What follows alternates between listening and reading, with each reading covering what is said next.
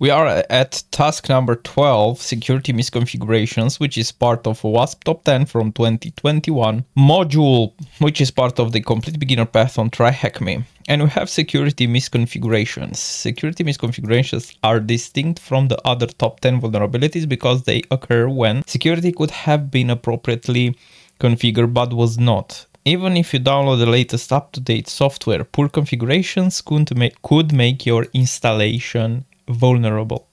Security misconfigurations include poor configured permissions on cloud services like S3 buckets, having unnecessary features enabled like service pages, services pages, accounts or privileges, default accounts with unchanged passwords, error messages that are overly detailed and allow attackers to find out more about the system not using HTTP security headers. Yeah, so I presume this one will go through the cheat sheet.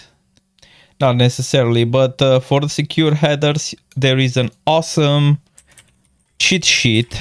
Cheat sheet series, we see secure response headers.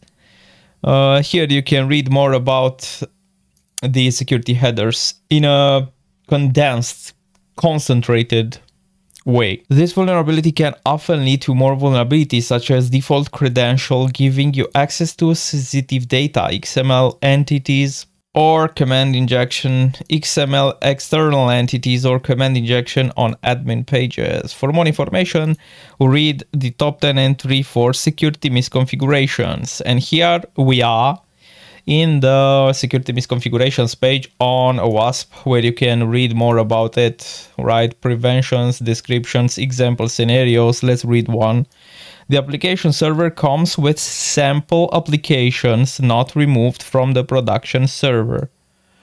These sample applications have known security flaws attackers use to compromise the server. Suppose one of these applications is the admin console and default accounts weren't changed. Boom, there you go.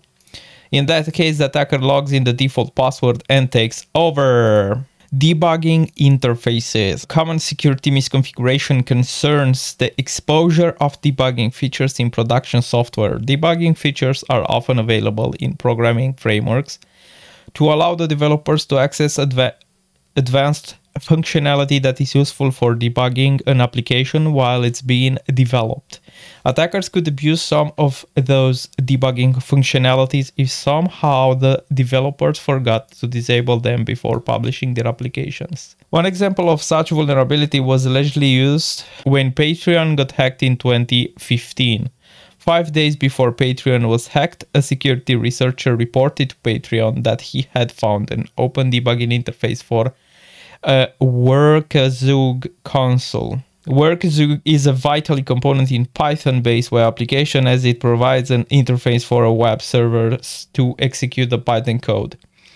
Werkzeug includes a debug console that can be accessed either via URL or forward slash console. Or it will also be presented to the user if an exception is raised by the application in both cases the console provides a Python console that will run any code you send to it. For an attacker, this means you can execute commands arbitrarily. And here we have an application to port 86 that raised the console. And here we can see the interactive console, right?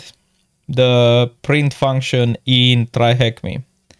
Practical example, we have this virtual machine showcases security misconfigurations as part of the top 10 vulnerability list. We navigate to our uh, vulnerable IP and try to exploit the security misconfiguration to read the application source code. So we go to the vulnerable machine and we access the console. Okay. Uh, we use the list.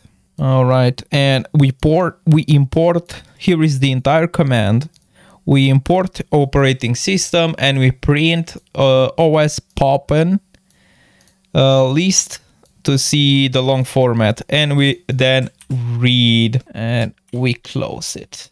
This should work. There you go. We have executable rights for templates. We have the DB. We also have the requirements. Right. Basically, we what is the database file name? the one with the uh, to do dot db. Do we need extension? Yeah. Modify the code to read the contents of the app py file, which contains the application source code. What is the value of the secret flag variable in the source code?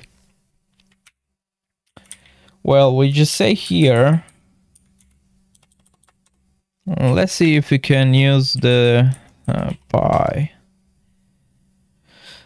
All right, let's see, this is a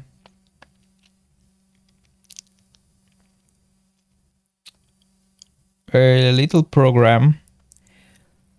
So from Flask, all right, read the templates, request, redirect. Uh, we have the secret flag, just a tiny misconfiguration, which we'll copy and we place it over here. And uh, this one we have to complete. Okay, we have the project root uh, project root variable which is set to